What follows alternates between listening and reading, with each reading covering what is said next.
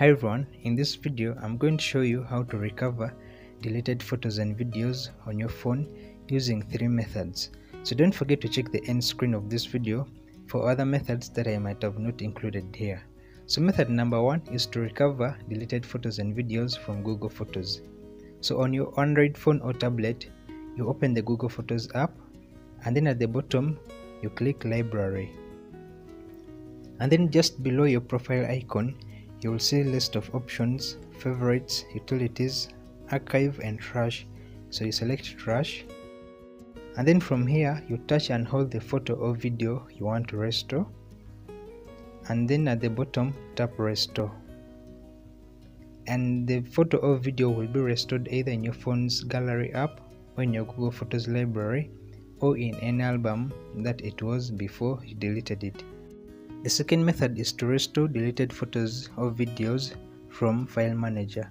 So you open your File Manager app and then you click on the three dash menu at the top left corner, then select Recycle Bin and then you tap on the photos and videos under Recycle Bin.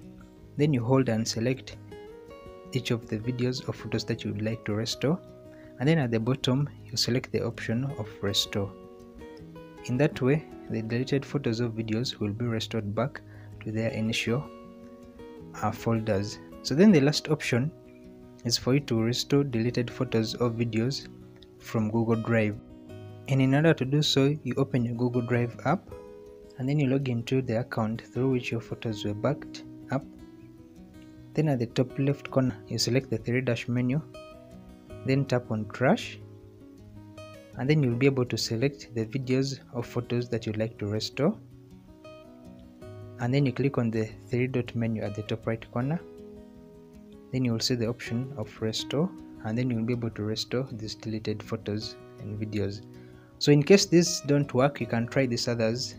And also don't forget to subscribe and turn on the notification bell so that you can be updated each time i make a new video. Thanks for watching and see you in my coming videos